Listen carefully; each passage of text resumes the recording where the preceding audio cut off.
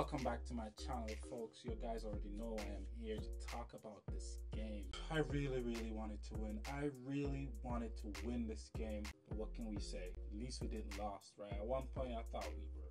You know, them scoring that goal and you know that goal and going going ahead was just crazy to me. And I was like, here we go again, another season where Arsenal just killed us. You know, I'll never forget that five 0 I'll never forget that you know four two. You know, I think the last couple of games they've just been dominating us. You know, so drawing and getting closer to them and all of that. I hear people saying that Arsenal is still in the title race, but I'm saying to myself, if we're above them and they're still in the title race, that means we're in the title race. But I'm not that naive to just get get get ahead of myself and believe that we're up for something that we're currently not. I think that Arsenal, they're not in the title race. Let's, let's just be honest. There's too much inconsistency. I think for the entire season, that's their best team that they've started, and they still couldn't beat us, right? I get they're away, but they're five to six, almost six years in their project. They should be beating us. We have a new manager, young squad, new players, all of that. Like since Arteta came to Chelsea, came to Arsenal, can you name how many of those players that used to play for Chelsea that still remain? I guess probably the only player that might I'm not even sure if it's Reece James or, or but there's there's none. There's none of those players who are still within that Chelsea team. All of them left. It's a new squad, totally overhauled, and they still couldn't beat us. I know we spent a lot of money, so we should be there and about, but they've been so far in their in their project, and they've spent a lot of money too. The thing is, Arsenal is not as strong as they think. I'm not sure they could win the league. If they win the league, then I'm surprised. I don't want them to win the league. I think Manchester City is eventually going to get it right. You know, Pep is going to come up with a formula because it's history. Everybody knows it's around this time that Manchester City drops off and then they just make a quick run to the end of the season and end up winning, right? Liverpool, they're just one injury away from everything going tits up. To me, that is. Anything could happen. They might, you know, go all the way and win the thing, but still, I still have Manchester City as the favorite, despite them losing so much games. It would be lovely if we, if we place above Arsenal this season. That will be perfect. Like just to look at them and just be like, see, all this that you guys talking about, winning the league, winning the league, coming second, you still can't place above Chelsea. I see a lot of growth in the team, still some question marks. I don't think the goalkeeper should have been beaten like that at near post.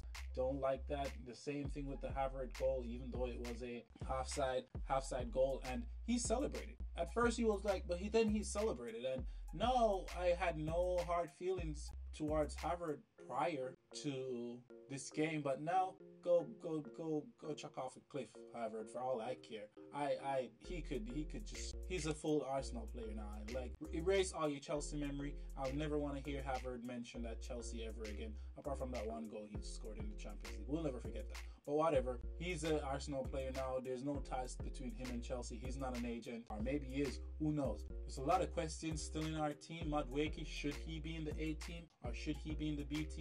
I'd like to say he should be in the B team at this point because he's been missing sitters. He doesn't offer anything else than, you know, that right attack and cutting sometimes and kick the shot and sometimes he misses. Hardly scores, right? Madueke, Mudryk is improving. Why don't we play him? Right? You see that Pedro Neto is be better on the right. Play Mod Mudryk, he's improving, he's knocking on the door. You know, some good games in, some good games here and there. He's definitely improving.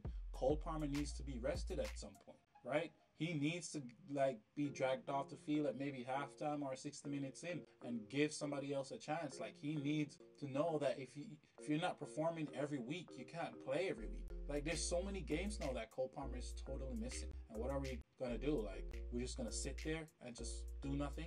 This guy is missing in too many games. And it's about time that we do something about it. And he needs to be sat on the bench for a minute to know that hey, you need to you need to come good, right? I believe João Felix could play in that role and then Kuka could play in that role. Rotate them out a little bit. Let him know that you need to be performing to be staying in the team. If it goes for one set of player, he has to go for the other set of player. Right? I think Caicedo is finally becoming becoming that player that we played for. Lavia, I know there's a massive talent there. Still expecting him to come better than he is right now. Colwill, still so iffy about that guy, man. I was surprised to see him not start Reece James. I asked for him not to start Reece James, but Gusto got the start. Reece James came on, so you know, offered something quite similar but different. You know, different stature, different directness. But at the end of the day, I still want to see my boy Chilwell play. Like when is Chilwell ever gonna get a look into the team? All in all, it's a good result. A draw going into the international break is not such a bad thing, right? We could do with a draw. You know, it could have been a loss, and then we go into international break looking all dumb. We could come back, you know, regroup, see what we're missing, see what's not working, and just readjust. I do believe we should be playing that three, that three in the back with two wing backs, two midfield, you know, and a two-one. So two center forward or two attacking mid and a striker. That's the position. That's the formation I think we should be playing, but they're not gonna play. So we'll just take it from there. What can we do? Just take it from there. Tell me what you guys think. Should we have won that game? Are you satisfied with the draw? Leave your comments down below. Like, share, subscribe. I'll see you guys soon.